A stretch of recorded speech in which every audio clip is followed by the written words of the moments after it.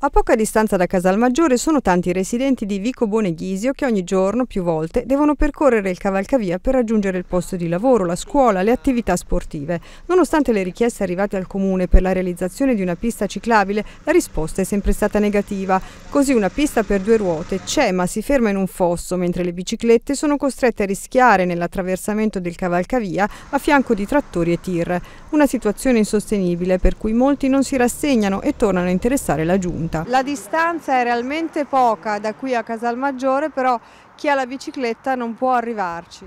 No, pochissima effettivamente, forse meno di un chilometro, no, meno di un chilometro, ma c'è un eh, alto sovrappasso molto ripido che in bicicletta è, oltre che pericoloso perché non c'è il passaggio, è anche molto molto faticoso. Quindi chi non ha la macchina sostanzialmente da questa frazione non può andare al capoluogo.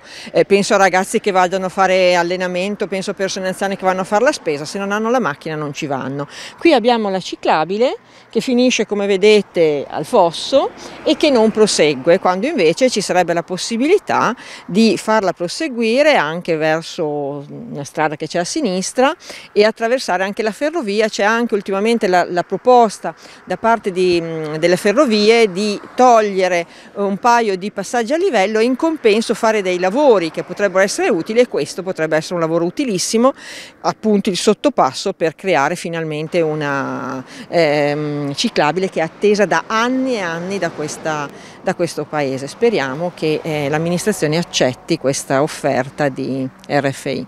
Dove passa una strada importante come questa, taglia il paese e a fianco non c'è nessun passaggio pedonale, quindi neanche mm, piccoli marciapiedi, il paese va morendo, la frazione va morendo, le case sono abbandonate una dopo l'altra. Da parte sua il sindaco Bongiovanni non è favorevole alla ciclabile perché ritiene che non si debba coprire fossi, ma soluzioni alternative dovrebbero essere studiate secondo i cittadini.